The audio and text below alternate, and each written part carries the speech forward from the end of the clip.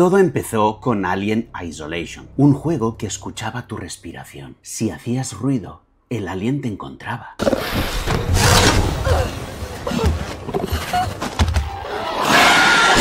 Fue la primera vez que un videojuego te sentía. ¡Te veo! ¿Qué haces? Estoy trabajando. Ay, perdón. Alien Isolation. Aquello era solo el principio. En Valve ya trabajan con interfaces cerebrales, casco en la cabeza, lectura en tiempo real.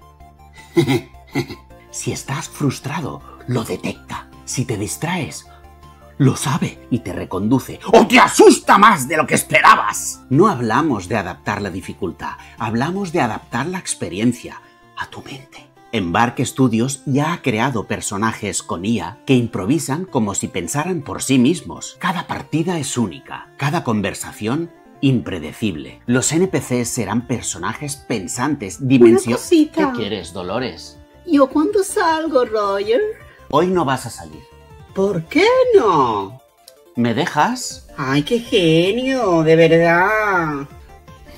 ¿Por dónde iba?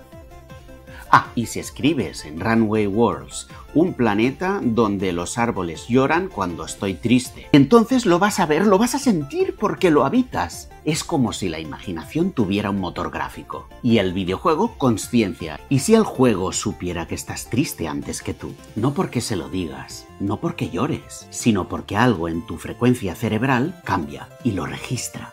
Y el juego lo sabe. Y si pudiera ayudarte sin que tú se lo pidas, ayudarte o dirigirte. Cambiar la música justo antes de que te desconectes. Mostrarte un personaje que te dice justo lo que necesitas oír para que sigas enganchado, para que no te vayas. Como si el juego te conociera tan bien que pudiera usarte contra ti.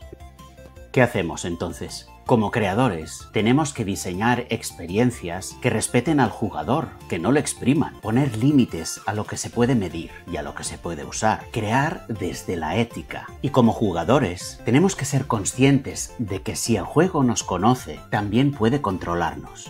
Y elegir bien con qué sistemas y con qué juegos nos conectamos.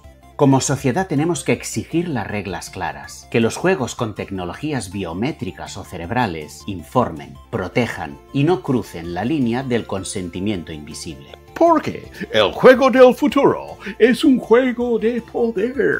Y ahora mismo estamos decidiendo quién lo gana.